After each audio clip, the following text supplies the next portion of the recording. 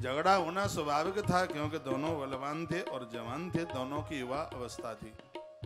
तो रावण का पुत्र और वाली का बेटा, राम जी का परम भक्त अंगद, दोनों के दोनों रास्ते में ही भिड़ गए।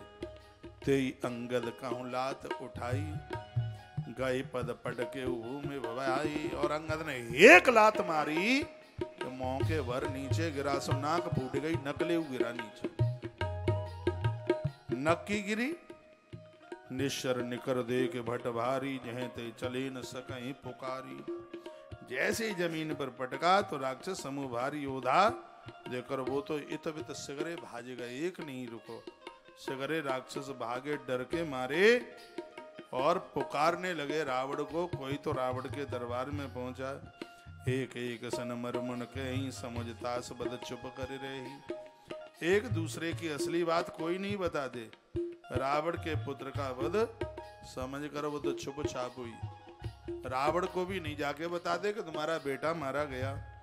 रावण कहीं न कहीं से सूचना मिल गई, पुत्र की मृत्यु को सुनकर और राक्षसों को भय से देखता हुआ भाग कर भागता हुआ देखकर नगर भगर, नगर भर में कोलाहल मचा है।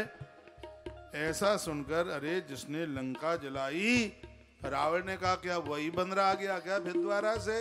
एक बार हनुमान ऐसा पश्चात दे गए, अब तो कोई बंदर का नाम आवे तो हनुमान जी ही उसकी निगाह में आ जाए। तो वो पूछने लगा, क्या वही बंदरा आ गया क्या जो लंका जला के गया?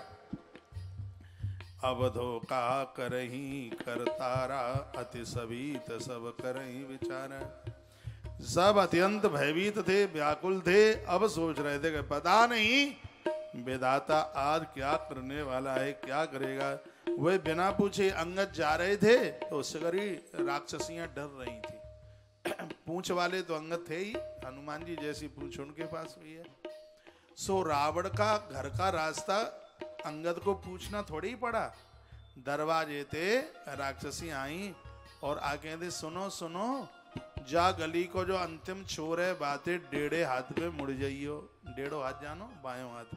मनते नाक उठाए के सीधे चलियो, एक पीपरा को पेड़ मिलेगो बातें आधो कोस नेक आगे चलियो, और मही एक शंकर की पिंडी दिख रही होगी बा के सामने एक बड़ो सो सोने को बरंडा बनो होगा, और बा के ऊपर एक ध्वजा लगी होगी, समझ लेना बा के ऊपर लिखी होगी, दशानन भवन। वही समझ लेना का रावण का मकान वही है। और अंगद किसी को पूछ नहीं रहे और डर के मारे सगरे रास्ता अपने आप ही बतावत जा रहे।